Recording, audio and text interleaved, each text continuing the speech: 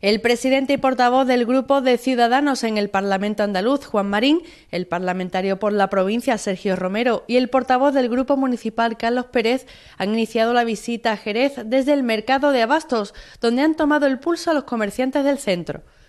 Por eso desde Ciudadanos hemos planteado en los presupuestos de la comunidad autónoma órdenes este año que van destinadas a incentivar en proyectos como las remodelaciones de los mercados o también los espacios urbanos que realmente eh, generan empleo y actividad económica en las ciudades. Las ciudades no podemos dejarla morirse, es compatible el modelo del centro urbano, del comercio tradicional, del mercado de abasto, con el de otros formatos comerciales, pero estos hay que fomentarlos y hay que cuidarlos de forma especial. La visita ha continuado en la Real Escuela Andaluza de Arte Ecuestre, del que ha resaltado su valor turístico y de conservación del patrimonio.